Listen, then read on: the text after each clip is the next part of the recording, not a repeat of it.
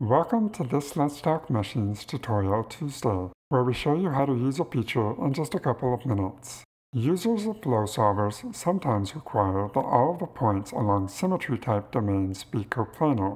Other situations occur where users might want to map the points of domains at the extent of an extrusion, for example, to a specific constant coordinate plane. Some of these users have gone out of their way to develop software programs for accomplishing just this task after exporting their meshes from Pointwise. Still others have adopted an approach wherein they create a desired constant coordinate database plane in Pointwise and project the points of domains to this plane.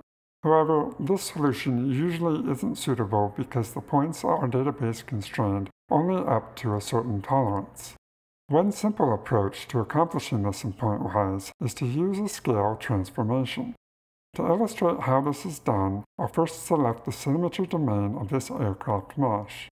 Next, from the Transform submenu of the Edit menu, select Scale. This opens the Scale panel where I'm first prompted to specify an anchor point.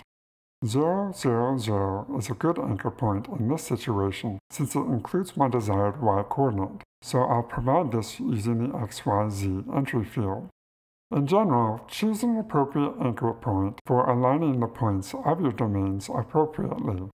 If I had a domain along a constant y equals 1 coordinate plane, and I wanted to ensure that all of my points for this domain were exactly aligned at y equals 1, then choosing an anchor point at 0, 1, 0 would be appropriate. Next, I need to provide the appropriate scale factors in each of the three coordinate directions. I don't want to scale the selected domain in the tangential x and z directions, but I do want to make sure that all of the points on this domain lie on a constant y equals 0 plane. Thus, if I enter scale factors of 1, 0, 1 in the scale factors entry field, then all of the x and z coordinates for points on this domain remain unchanged, while their y coordinate is multiplied by a factor of 0, ensuring they are aligned exactly on a constant y equals 0 plane.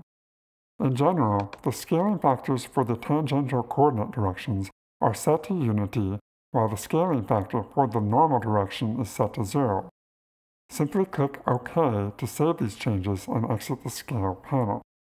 If you like this video, then be sure to click the thumbs up button and subscribe to our channel for more videos like this. If you have any questions or comments, then drop us a line down below or connect with us on Twitter using the link in this video's description. Thank you and have a pleasant Tuesday.